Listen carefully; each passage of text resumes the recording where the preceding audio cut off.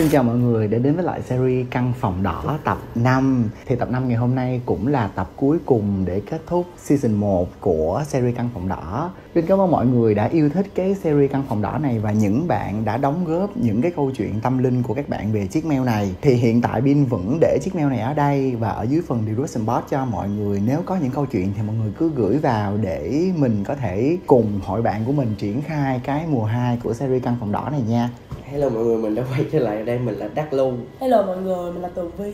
Hello mọi người, mình là Bảo Long. Hello mọi người, mình là Tenny Hello mọi người, mình là Nhật Vi. Yeah Và mình là Bin. Ok thôi không làm mất nhiều thời gian của mọi người nữa. Bây giờ tụi mình sẽ bắt đầu vào những cái câu chuyện ở tập 5 này nha. Đây là chuyện ma gần nhà luôn mọi người. Thì ở gần cái nhà em á, lúc mà cái nhà của cái cô đó chưa xây Có một cái cây me rất là cao. Thường á là lúc mà hồi nhỏ rồi á thì tụi em sẽ tập trung ở đó để mà tụi em chơi, giỡn hay gì này kia là cái chỗ đó rất là âm u. Mà cái chỗ nhà bà bà Mười đó là bán tạp hóa luôn. Thì thường thường hay chơi ở đó 9-10 giờ đêm thôi. Buổi đó là tụi em tập trung lại. Hồi đó là hay chơi quăng lon nữa. 9 giờ rưỡi hay là 10 giờ là ba mẹ rào dẫn vô liền. Cái hôm đó sao á Cái tụi em quyết định là ở lại chơi tới 10 rưỡi 11 giờ về Mà cũng không có quan tâm cây me Tại vì cũng không có đèn hay là gì hết trơn á. Rồi mua xịt tin, mua đồ uống rồi gì đó. Bà Mười ở trong nhà có kêu á là Tụi bay chơi đi nha Nhưng mà chơi về về sớm sớm chút Chứ mất công mà tụi bay mà về trễ không biết cái gì gặp thì đừng có nói tao đừng có than tao. Tụi em cũng cười vô ờ tụi em về sớm rồi này kia. Ở đó thì đông lắm tạt lon mọi người cứ tạt lon. Nó mới chơi cái nó cứ nhìn lên cái cây thì nó cứ vừa tạt rồi nó cứ gì nè. Xong rồi kêu ê ê cho ơi làm gì mà nhìn hoài với mày? Có cái gì đâu mà nhìn. Nhưng mà không mọi người quăng xuống một cái nữa là nó nhìn lên gì tiếp? Là nó để lâu vậy luôn á nó để lâu vậy luôn á. Xong rồi lát nữa nó không nó không chơi nữa. Cái nó mới ngồi như vậy nè nó mới ngồi trần dần như vậy nè. Ờ thôi chắc cái chuyện gì đó thôi ngồi đi đầu tiên ngừng cái lon luôn. Ê thôi mình bị bị ừ, ừ, à, bây giờ về Gì mà nha. nói. Là nó không có nói được á. Ờ, ừ. Mà mày không nghe. Ừ, tụi em đâu có biết cái gì đâu. Nó kêu ủa chăm bây giờ về nha ừ, ừ, ừ, luôn Hiểu chơi. Rồi, hiểu rồi, ý là giống bị á khổng Nhưng mà, hay là hay là bị chết đứng. Bị có cắm nói ý á. Là xong rồi cái mai sáng lại hôm sau mai sáng lại hôm sau thì tụi em hỏi ủa chăm ơi hồi đêm mình làm gì mà mình nhìn lên cái cây hoài vậy? Chăm nó im ru gì á. Bốn tới năm ngày sau em nhớ là bốn tới năm ngày sau á. Rồi mới nói cho tụi em nghe là ở trên đó thấy một cái ông lính cầm súng đứng như vậy nè. Trời đứng đó em nó đứng cầm giờ, giờ nhìn xuống nhưng mà không phải người việt mình nha. Xong rồi xong mà khi mà tụi em lớn lên một chút xíu á cái chỗ cái cây me đó á, nó mới chặt. Nhưng mà cứ đêm về á ví dụ như cái bản tính của em hay tò mò kiểu như là lứa hay tò mò á đi về chạy xe hay gì á cũng nhìn. Mà nó chặt rồi mà. Cái này em kể là chưa chặt biết là sợ nhưng mà lúc nào chạy cũng Ê ghê quá, tao tao chạy hẳn nhẹ về cái là kiểu cái tâm lý á. Cái tâm lý. Xong rồi khi mà cái cây đó đã được chặt đi rồi và cái nhà của bà mười cũng xây lên cũng có cúng kiến rồi này kia cái mới nghe sau này sớm nói lại á là đó đã lính ở đây nhưng mà cũng không có gì đến nỗi mà nó ghê gớm hết. Chuyện ở cái cây me đó thì thường xuyên xảy ra luôn. Nào là có người đứng cầm súng cũng có mà không phải người việt mình mà có lính nước ngoài nữa. Tóc chải cái phần cây á giống như là có ai leo lên vậy mà đêm cứ nghe cười rồi cái tiếng mà rớt ở trên cái mái nhà mấy cây me nó rớt trên mái nhà á, mà nó cứ gì nè là nó rớt tiếng me xuống á. Nó cứ liên tục liên tục liên tục vậy á. Xong rồi sau này chặt đi ấy rồi hết này kia. Câu chuyện đầu tiên của Tenny muốn kể là một câu chuyện của một bạn đã gửi về mail cho Bin và Bin đã gửi cho tôi để kể cho mọi người nghe. Bạn này đi Đà Lạt với gia đình của bạn thì đi chơi bình thường, tới lúc đi về kiểu như xe khách gì đó thì bạn nó nói gì nè, nghe đồn là trên xe khách này nhiều ma lắm phải không? Cho tôi gặp đi. Là nói trong đầu hết Ờ, nói gì á má? Cái um, thì đi ngủ Thì bạn bị đè nhưng mà bạn không có dám la Tại vì sợ trên xe người ta nghe. Bạn cố cựa quậy và mở mắt ra nhìn lên nhìn nè má. Nguyên một cái người bà già trên trần gì nè Mà bà hơi nhỏ con Một tím, cái người màu tím luôn Đang nhắm mắt mặt cười tóc của bạn quấn vô cái cổ của bạn. Bạn sợ quá trời sợ rồi bạn cố gắng bạn niệm phật khoảng ba chục phút á, thì bạn mới hết là xong. Còn câu chuyện thứ hai của tôi là một người anh đã kể cho tôi nghe về câu chuyện này. Gia đình của ảnh và người yêu của ảnh đi phú quốc chơi đang ở cái khách sạn đó. Thì tự nhiên cái phòng của anh đó với người yêu của anh á thì gia đình của anh ở cái hàng ngang này. Tự nhiên cái anh bị lọt qua cái phòng cuối cùng cúc quất ở đây. Ừ. chữ L ở kiểu chữ L á thì cái phòng đó nhìn cái ban công nhìn ra ngoài cái uh, bãi đất trống. Thì cái lúc đó ông đang đứng ông đang mới đi chơi về vui vẻ vậy? Ông đứng trên ban công ông nhìn xuống bãi đất trống. Tự nhiên ông có những cái suy nghĩ tiêu cực. Nhảy xuống đây thì sao ta? Ờ. Vậy đó má. Không biết nhảy xuống đây có cảm giác gì ta? Là gì vậy má? Có ai vậy không? Hay là kiểu bị khiến á. Ồ vậy đó. Hay là cái xong rồi. biết sao không? Ý là nhiều người mà người ta đang đứng trên một cái tầng cao lâu lâu người ta cũng có một cái suy nghĩ. Người ta thắc mắc thôi người ta muốn biết được à những cái người mà người ta từng nhảy lầu á không biết cái cảm giác làm sao mà người ta dám nhảy. Ờ cái xong rồi ổng gì vậy má? Tự nhiên tôi nghĩ vậy? Cái ông đi vô cái đi chơi vui vẻ cái tới tối tự nhiên hai vợ chồng cãi lộn ì đùng mà cái chuyện dớ da dớ dẫn gì á má. Giận nhau không nói chuyện với nhau rồi đi ngủ thì ổng đang nằm ngủ về. Bạn nằm kế bên tự nhiên bà ngồi lên cái ổng ổng thấy bà ngồi im gì nè nhìn ra cái ban công vậy á cái ổng ổng ổng hay hay rén. Mà ổng đó giờ ổng không có tin là ma quỷ đúng không? Ổng không có tới có tin là có. Cái ổng ổng ngồi lên ổng, đi chơi tới trước mặt bả vậy nè. Gì vậy? Cái bà nhìn lên. Dẫn tao đi chơi đi. Trời ơi! Gì hả đi chỉ mày ý là ổng nhìn cũng mà cái mặt bả với cái thần sắc đó thì ổng biết không phải là bả nữa rồi. Mày là ai? Đi chơi cái gì? Ổng tái người má. Ổng tái một cái bóp gì nè. Trời ơi, tán má xong rồi gì là kiểu tán là vậy đúng không? Vẫn nhìn thẳng gì á má. Tái tiếp.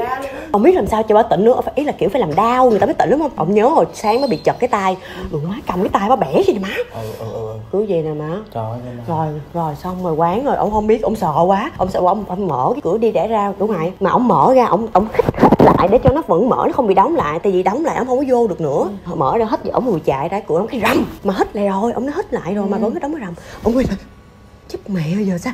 Ông chạy đi về kiếm kiếm mà gì út con cái con đó nó bị sao rồi thím ơi gì kia này kia. Mọi người chuẩn bị chạy tới gần phòng thì cái chị đó chạy ra khóc quá trời ôm ổng khóc khóc khóc khóc khóc khóc. Ra rồi. Chưa má ủa gì vậy má? Khóc khóc khóc khóc quá trời luôn. Sao mà mà cũng không có nói gì cứ khóc như vậy á. Sao mà ổng đi xuống lễ tân ổng kêu đổi phòng. Thì lễ tân kêu là cái anh giữ chìa khóa anh về rồi không có gọi điện được. Rồi sao nữa? Trời ơi là ổng với bà phải ngủ trong cái phòng đó luôn. Nhưng mà cuối cùng sao bà xong rồi ngủ thì cứ thì phải nằm ngủ ổng ổng thức trắng một đêm gì nè má. Ổng còn má ghi ngủ. Là lúc mà bác khóc là bà dịu lại rồi. Là bà Khóc. không có kiểu dẫn tao đi chơi nữa. Ừ khóc khóc vậy là đi đi với ổng xuống cái tầng lễ tân luôn để để đổi phòng mà không đổi được thì đi lên lại. Là vẫn khóc nha má. Cái sáng vậy em hôm qua sao mày đánh tao đau quá giờ cái đó ủa mày nhớ gì không? Không tao có nhớ đâu. Tao chỉ nhớ là tao mày cãi lộn chuyện gì thôi nè là không có nhớ chuyện khóc đâu má. À là chuyện khóc Là ao chưa? chưa ao luôn. Ừ là tới khi ngủ luôn sáng như vậy sao mày đánh tao vậy? Hôm qua mày làm gì tao? Vậy đó. Rồi ổng không dám kể với chị đó về cái câu chuyện bả bị như vậy luôn. Thấy chị hỏi là chị nhớ là cãi lộn thôi không nhớ khóc hay là nấu cái gì hết. Ghê quá à. Ôi cứ mà đóng cửa ra chỉ sợ là bà nhảy xuống cái cái đó Ờ, thôi á má. rồi. chỉ sợ vậy thôi. Em bữa tao mới đi uh, Mũi Né Đấy là cái chuyện này nó không phải tâm linh mọi người Nhưng mà tự nhiên nghe con Thủy kể Cái tao mới nhớ con Khang tự nhiên vậy nè. Cái chỗ tao ở mới đúng là cái chữ T á Tức là nó sẽ cái thang máy như đây Và nó tẻ ra hai ờ. hành lang như vậy.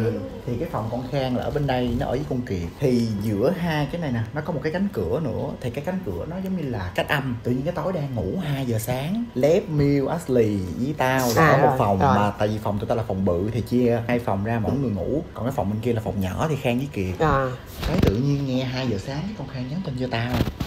Ê mày có nghe gì không kiểu là có nghe cái tiếng gì không á? Tao còn cái đoạn tin nhắn luôn nè. Cái tự nhiên tao chửi nó má tao kiểu gì vậy má? Nghe tiếng gì? Tại vì cái con khang là nó chưa bao giờ nhìn thấy hết nhưng mà nó cảm nhận được. Ừ. kiểu như nó bước vô một cái chỗ nào đó mà không sạch sẽ nó cũng sẽ bị lạnh sống lưng hay sao đó. Kiểu nó nói vậy cái tao hết hồn luôn mày. Cái là sao tự nhiên tao nghe cái tiếng ờ, báo chuông là có cướp ở trong cái resort tụi tao. Tất cả mọi người đều không được sử dụng thang máy gì á tao nói ủa tao nằm tao đâu có nghe gì đâu má tự nhiên cái chuông phát lên vậy á. Trời ơi cái bên đây tụi tao run vãi luôn. Nó đang ở cái phòng rất là xa đó vậy á. Tại vì cái loa phát báo là đã không được dùng thang máy hay ra khỏi khách sạn này nọ rồi. Giờ không biết làm sao gặp nhau cái xong rồi tụi tao cũng bị thức trắng với nó vậy nè. Cái xong hồi á nó nói là nó gọi với lễ tân á. Lễ tân báo là sự cố lỗi. Tức là cái thu âm đó nó được sẵn em hiểu không? Tức có nghĩa là tất cả những cái chỗ ở nào mà kiểu khách sạn hay resort này nó đều có những cái thu âm sẵn kiểu như là cháy này cướp nè hay là cái gì đó đó đó để trong những cái trường hợp khẩn cấp nó bấm nó phát là một cái là cho người ta nghe. Thì trong cái phòng kỹ thuật không sao biết bấm bị lộn đó nhưng mà nó chỉ phát bên khu khu hai thôi trời đó ơi má ơi tao nghe tao cũng hết hồn ồ ấy là một cái chuyện không phải tâm linh mà nghe nó còn ghê hơn tâm linh nó mà tự nhiên cái cướp ở trong resort lại cái câu chuyện của Bin thì cũng được một bạn khác gửi về chiếc mail thì Bin sẽ kể lại cho mọi người nghe cái câu chuyện đó. Thì bạn có kể cho Bin là bạn đi làm ở một cái shop đồ hồi 2 năm trước 2021 ở quận Tân Phú. Bản thân bạn á, từ nhỏ cho tới lớn là bạn chưa bao giờ gặp hết và bạn kiểu cũng có tin á. Giống như là tụi mình vậy đó kiểu Ừ, như là ừ. chưa bao giờ gặp nhưng mà trộm vía tin một phần là do mình sợ nữa cho nên là mình không làm gì sai cho nên người ta không có hù. Bạn đó đi làm ở một cái shop đồ thì bạn đó được nghe kể lại từ những cái anh chị làm ở trong đó thôi. Là cái shop đồ này được mở năm 2019 là cách 2 năm so với cái năm bạn nó đi làm. Và cái câu chuyện này tới đây đã là 4 năm rồi. Cái đằng trước á, là những cái móc treo đồ được treo trên những cái sàn như thế này nè. Và vào phía bên trong một chút xíu là phòng thử đồ. Ừ. vào phía đi xuống dưới nữa là một cái kho. Thì hình dung ra được thường là cái shop nào nó cũng vậy hết. Và ở đằng sau cái kho đó nữa nó sẽ là một cái kho nhỏ nữa để những cái vật dụng mà ít xài tới nhất. Và bạn đó nói là cái kho đó hồi đó hình như là có người treo cổ ở đó. Và ngay cái kho đó dẫn ra có một cái cửa là mở cái cửa đó ra là tới một cái căn nhà hiện nó đang trống nó không có ai thuê. Nó giống như là bị bỏ hoang vậy đó. Thì đó là cái mô hình của cái shop đồ đi từ đằng trước cho tới sau ra đằng sau. Thì cái câu chuyện đầu tiên là cái anh bảo vệ ở đó ảnh thấy thường á một ca làm á thì chỉ có một người bán và một anh bảo vệ thôi. Nhưng mà anh bảo vệ thì ảnh không có biết được cái bố trí sắp xếp nhân sự ở trong đó. Anh chỉ biết là cái công việc của mình là chỉ giữ xe thôi. đúng rồi. Thì một buổi sáng đó tự nhiên ảnh vào anh thấy có một cái bạn đó ở trong ca thì bạn đó đang ngồi ăn sáng ở trong kho thì tạm gọi là bạn A đi ha. Thì tự nhiên ảnh nhìn ở cái phía cầu thang vậy nè, cái ảnh thấy là có một người kiểu như là vừa thấy cái cái chân người ta bước lên để lấy đồ trở nó. Á thì ảnh nghĩ cái đó là một bạn B ở trong hai ca tại vì ảnh không có biết là bố trí nhân sự là chỉ một người một ca thôi. Thì cái anh thấy ảnh cũng đi ra qua ngày hôm sau đi. Thì thường cái bạn B đó đi làm là sẽ đi xe. Thì hôm qua nguyên một cái buổi làm luôn ảnh chỉ thấy xe của bạn A thôi mà ảnh không có thấy xe của bạn B. Cái ảnh mới hỏi là ủa hôm qua em đi làm ờ, sao anh không thấy gửi xe hay là bồ chở? Thì cái bạn B đó mới nói là ủa hôm qua là em ốp em đâu có làm đâu tại em bị đau bụng. Đó là hiểu chưa? Rồi. Hiểu cái vấn đề chưa tức có nghĩa là ảnh tưởng trong cái kho đó là bạn A ngồi đây thì cái bạn mà đang leo lên lấy đồ là bạn B. Cái cuối cùng bạn Không B hôm qua không đi làm bạn A ngồi đây. Vậy cái bạn ở trên đó là ai? Nhưng mà ảnh cũng không nói cho bạn B nghe câu chuyện đó luôn. Ý là ảnh nghe vậy cái xong ảnh tự hiểu vậy đó. Cái ảnh ồ thôi không có gì không có gì không có gì. Rồi cái câu chuyện thứ hai là câu chuyện mà năm thành sáu. Thời gian đó là cái shop đang tuyển dụng thêm nhân viên. Thì ờ, có một cái chị đó chị đó vào ờ, để ờ, xin làm. Rồi chị đó cũng được apply vào làm. Xong cái ngày đầu tiên đi làm á kêu gọi ra mọi người đông đủ nhà để giới thiệu ờ, nhân viên mới. Thì ờ, chị đó mới nhìn thấy là có hai quản lý và bốn bạn nhân viên. Thì cũng ráng nhìn để nhớ mặt vậy đó cái làm bẩn đi một thời gian á cái chị đó nhớ mặt được hết rồi thì thấy hết được tất cả những người mình gặp rồi mà riêng một người sao không thấy. Cái chị đó mới hỏi lại những cái bạn mà đang làm ở trong đó ý là hôm bữa thấy sáu người á thì sau bữa giờ chỉ gặp có năm người thôi vậy còn cái chị đó đâu? Thì xong mà mọi người đem mới giỡn lại là hả? Thì năm người đó sáu người là thêm bà là sáu đó má kiểu vậy hiểu không? Nhưng mà cái chị đó không phải tôi nữa là bảy tại vì bữa thấy sáng mình có cô chị tóc ngắn đứng đó nữa.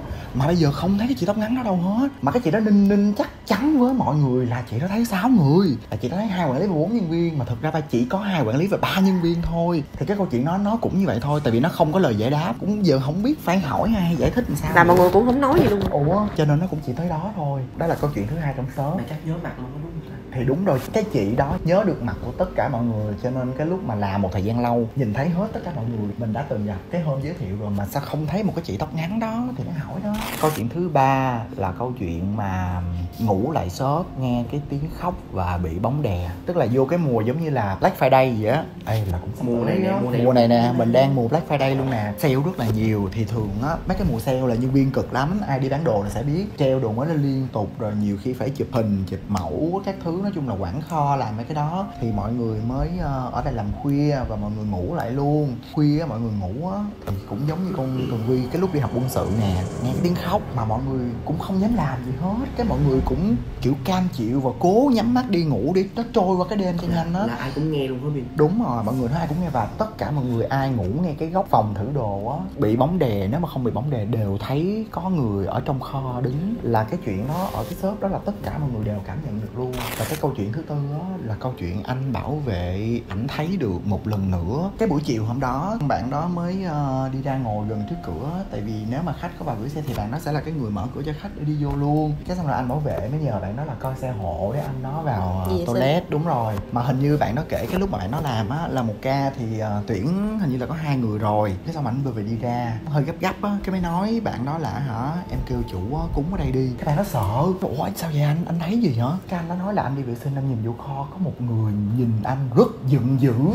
Ê giận dữ luôn. Ồ xong rồi cái bạn đó mới chạy vào nói với cái chị làm chung, như vậy vậy vậy đó. Xong mọi người mới ờ, nói với chủ, kể ra tình hình tình hình vậy đó. Mà ta cũng thắc mắc là tại sao trước đó nó đã xảy ra những cái chuyện vậy rồi mà không cúng, mà đợi tới cái chuyện mà nghe bị giận dữ mới cúng á. Và bạn nói là bây giờ bạn cũng hết làm ở cái shop đó rồi. Shop đó hiện tại vẫn còn và sau khoảng một thời gian cúng đi á thì cái shop đó vẫn buôn bán bình thường chứ không sao hết. Thì đó là cái chuyện mà bạn gặp ở shop đồ và bạn xin phép là ẩn danh, bạn đi, không có nói tên bạn ra. Trời đúng rồi ừ, đúng rồi chứ shop nó còn hoạt động tốt và ok. Em xin kể một câu chuyện mà em được kể Một nhóm bạn của em kể cho em nghe. Trong nhóm bạn đó có bà ngoại một bạn bị mất. Đi chôn thì bên đạo em sẽ có 3 ngày phải đi lên trên mộ để đốt lửa. À Thì sẽ đốt lửa là mình phải canh lửa cho tới khi mà lửa cháy hết mình mới được về. À, Là 5 giờ rưỡi lên là phải đốt xong phải tới 7 8 giờ mình mới về được. Là buổi sáng hay buổi, buổi tối? buổi tối. Buổi tối. Dưới quê là nó sẽ hay mua đất sẵn người ta sẽ hay chôn kế bên người thân của người ta. Một đám chạy lên trên ờ, nghĩa địa luôn. Có một cặp thì nó sẽ đi sau. Thì khi mà nó chạy lên á thì hai là nó chạy vô trong nghĩa địa. Thì nó nghe cái mùi thúi rất thúi luôn nha. Xong cái ờ, nó lỡ miệng nó hét lên. Gì mà thúi quá vậy? Thì cái anh lớn cho nó mới chạy ra nó nói là nó nhỏ thôi em nghe mùi thúi quá em chịu không nổi. Thì ờ, anh nó mới kêu là ủa anh đâu có nghe gì đâu. Không em nghe mùi thúi như mùi chuột chết mùi xác chết gì đó. Xong rồi cái ờ, anh nó kêu anh không nghe. Là ảnh không nghe thiệt. Tụi nó mới nhìn xung quanh tụi nó mới thấy là một cái mộ mới được bóc lên. Người ta bóc mộ đi chỗ khác á thì nó vẫn còn cái mùi ở đó đây nè em nghe mùi ở đây nè nó chỉ vô đó luôn. Ông mới xác định là ông không nghe cái gì hết. Ông kêu thôi được rồi đi vô đi. Sau đi vô đốt lửa thì cũng ngồi đốt đốt cũng ngồi hát hát với nhau vậy đó cho đỡ sợ. Còn bên đây thì có một cái mộ sẵn rồi. Thì đang ngồi hát hát vậy nè thì đứng đọc kinh xong thì ông nhìn qua bên cái góc bên cái mộ đó thấy một một người đứng ở sau cái mộ. Nhưng mà đứng đứng đứng xong mà nhìn nó nhìn nhìn gì nè. Thôi đi. Thì đó thì ông mới nhìn xung quanh ông ông ông đếm trời ơi đê ừ hiểu rồi ông đếm, đếm á. ông đếm thử coi là có ai trời ơi trời ơi bà nội của nội Ôi, ơi thấy rồi. Nếu nó mà núp vậy là ông là ông sẽ chửi tại vì khuya rồi mà sao mà giỡn Chơi mà giỡn cái trò đó. Ông thấy nguyên hình dạng đó nha chỉ có điều là không thấy được cái mặt nó làm sao thôi. Rồi ông thấy à, đủ. Ông niệm trong tâm á là tụi con tới đây để tụi con đốt. Mộ thì cũng là trong gia đình với nhau thôi đừng có hù tụi con tụi con sợ. Xong ông đứng ông đọc kinh tiếp cái người đổi chỗ qua bên à, giống như là bên đây là cái mộ đúng không? Thì ông đứng lên hướng này thì sẽ thấy bên đây là người ta lò đầu ra. Khi ông nói xong đó là đi bọc lại là đứng hướng ở đây ra là đứng ở ngay kế cái mộ luôn mà. Mà tụi nó không thấy một mình ổng thấy luôn. Ờ ông thấy xong tụi nó không thấy cái ông thấy xong cái là đi về. Xong rồi tụi nó kêu là ủa bị gì? Không bị gì hết đi về. Em chưa đốt mộ xong em phải ngồi em đợi. Đây là cái thằng cháu nó kêu là nó, nó phải đợi cho tan lửa nó mới về được. Nếu mà muốn thì về hết đi nó ở lại. Vậy cháu đó bao nhiêu tuổi vậy? Cháu nó bằng tuổi em. Trời là nó gan vậy? nó nó thương ngoại nó quá nó thương ngoại nên là ngoại nó mất cũng là một cái sốc của nó. Đúng thì rồi. đi cặp đủ hết trơn á là nếu mà thằng nó ở lại thì con em phải ở lại nó luôn. Ông nó không chịu. Đi về đi ra anh nói thằng này cũng không chịu luôn. Rồi xong Nghĩa là phút đó không trách được. Ừ. Nó không người chịu. ta mà. Xong rồi cái ờ, ông kêu ok thì ông ngồi lại. Thì ông không dám ngồi ở cái hướng bên cái mỏ nữa. Giống như là ông ngồi như là hai đứa nó ngồi đây thì ông ngồi gì nè. Ừ. ông nép vô. Cái, cái ông nép vô rồi là cái lần cuối cùng này là ông chịu không nổi nữa. Ông phải có đi về. Sao là vậy? bò Trời bò ơi! qua bên bò dọc qua bên cái mộ luôn ấy. Là bò với giống như em đang ngồi đúng không? Cái mộ nằm đây. Em thì là, đi. là là đang ngồi nè. Là bò dọc qua một cái là mất tiêu. Trời giống như là một con mèo vậy á. Mà không phải là con mèo. Mà nhanh đúng không? Nhưng mà có bị fast không? Kiểu như là Không. quay uh, tâm láp á không có nghe tiếng luôn á. Ấy là ông thấy bọc ông vậy nè. Đi về rồi anh kể là ông không chịu nổi nữa. Bây giờ ông ở lại là ông sẽ xỉu ông chết rồi à? Không biết. Ông bóp nó gì nè. Xong ông nhìn nó. Rồi đứng lên là đi về. Dắt xe ra. Hàng để kia lại la lên tiếp. Thúi quá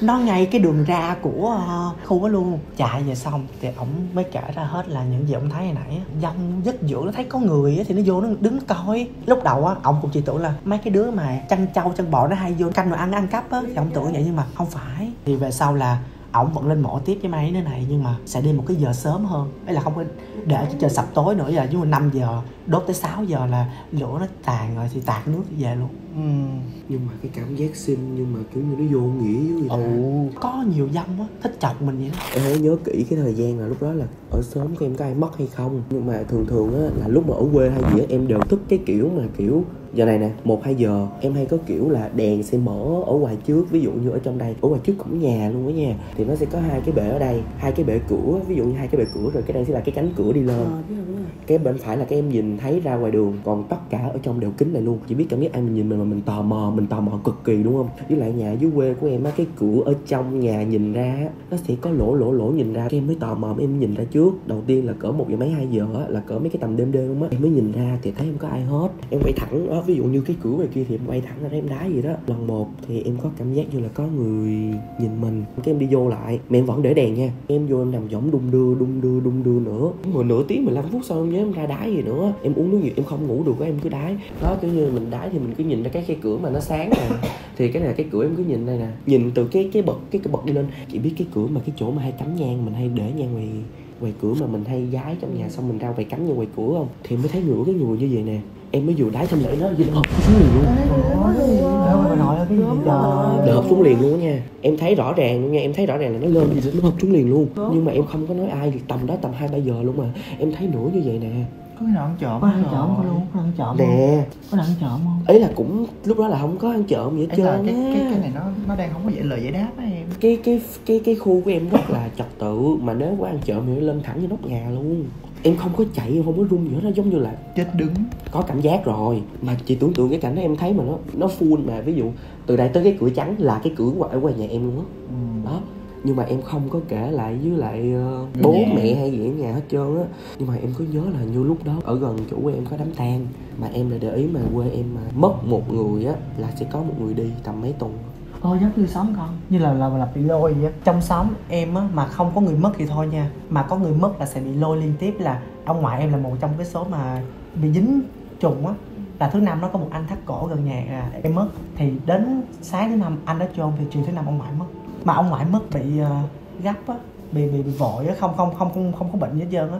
Thì khi ông ngoại mất xong có một cái nhà chú ở một điều với là con bên công an á mẹ chú mất. Xóm em mà không có người mất thôi nhưng mà mà một người mất là sẽ bị liên tục liên tục liên tục đám ma liên tục vậy đó. Với lại nãy giờ em không có nhớ gì nha tự nhiên cái ngồi lại đây thì nhớ tới cái chuyện đó luôn á. Mà em nhớ nó đen thui à.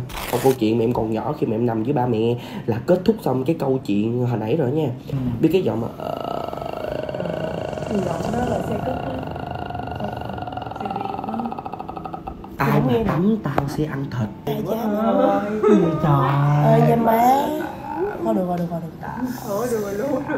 Má rồi, luôn cô lưu, cô lưu được rồi. Cô luôn cô nổi da gà này cô luôn biết sao không? Tại cái câu chuyện phòng tắm ở đây là Nhật Vi sợ nhất nè. Cô nghe rõ giọng luôn là ai mà tắm tao sẽ ăn thịt. Mà mấy cái này mà kể thì chỉ có mình thiệt lọc mình kể ra thì Đây là một câu chuyện mà của một bạn gửi về mail cho anh Biên và anh Biên đã đưa cho mình đọc. Và mình sẽ kể lại câu chuyện này. Gần nhà anh này có một cái xưởng trà cũ.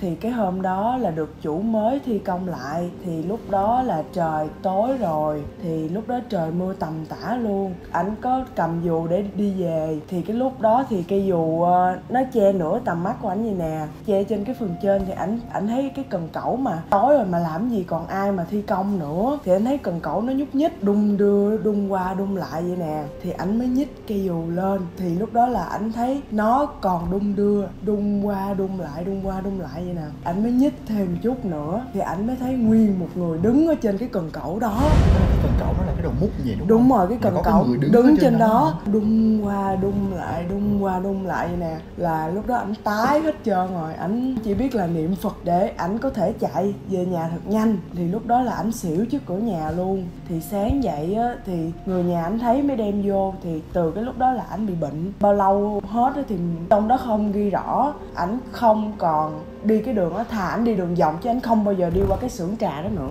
Nghe cũng nổi với gà Ồ, ê, tao bị tưởng tượng á Ừ, tức là một cái tượng. công trình đi ví dụ Đúng cái rồi. ánh đèn nó mờ mờ nó sáng le lỏi Ừ. cái thì có cái cần cẩu mà có người đứng ở trên cái cần cẩu nhìn nhìn thẳng ảnh hồn luôn nhìn thẳng vô ảnh luôn nha đúng rồi nhìn thẳng vô ảnh luôn nha nè đúng rồi nhìn cái thẳng luôn không phải là ngồi ở trong cái buồng lái. Ừ. Mà đứng trên cái cần á đúng Ừ. rồi đứng trên cái đồ mà xúc cái đúng đất rồi lên mà lúc đó ảnh nhích cây dù thêm một cái nó là và câu chuyện của mình cũng là câu chuyện cuối cùng của tập 5 và kết thúc series mùa 1 bản thân của tụi mình ở đây á còn khá là nhiều chuyện muốn share cho mọi người nhất là đắc lưu nè. Nhưng mà thời lượng của một tập nó có hạn và tụi mình sẽ để những cái câu chuyện đó qua series căn phòng đỏ của mùa 2 tụi mình share cho mọi người ha. Và căn phòng đỏ tập 5 cũng như là series mùa 1 sẽ xin phép kết thúc tại đây. Cảm ơn mọi người đã theo dõi series căn phòng đỏ này của mình từ tập 1 cho tới tập 5 và yêu thích cái series này. Gì rơi kìa rơi Đấy là kìa sao hứa hẹn hay là cái gì đó cái gì rơi vậy? ý là không có. Có khóc gì đâu khùng mà. Là hứa hẹn khóc gì? không á giỡn. Tự nhiên cái khóc vậy? Gì? Giỡn khùng khóc gì trời. Tự nhiên cái khóc vậy má chị nhớ nhớ gì khùng không? Có khóc social media của tụi mình ở đây hôm nay là tập cuối mình cũng ráng gom hết tất cả những thành viên đã quay từ những tập trước về để kể những câu chuyện tâm linh cho mọi người nghe. Ngoài cái series căn phòng đỏ này thì tụi mình còn những cái content khác có thể làm với nhau thì hy vọng mọi người sẽ ủng hộ và yêu thích tụi mình. Hồi nãy tự nhiên nó nói mình là có hứa hẹn với mọi người cái gì về mùa 2 không? Mình kêu là không thà là mình làm luôn chứ mình không có nói quá nhiều hứa hẹn quá nhiều. Một sự bùng nổ trong mùa 2 gì á má. Mình cũng sợ nhiều cái là nói trước bước không qua Ừ. với là mình sợ là nói nhiều mà không có làm nhiều cho nên là mình cứ Không âm thầm mình làm mà mình tung ra sản phẩm thôi. Một lần nữa mình và nhật vi Tenny Tường Vi, Đắc Lu, Bảo Long Cảm ơn mọi người và hẹn gặp mọi người ở những video tiếp theo. Bye. Bye bye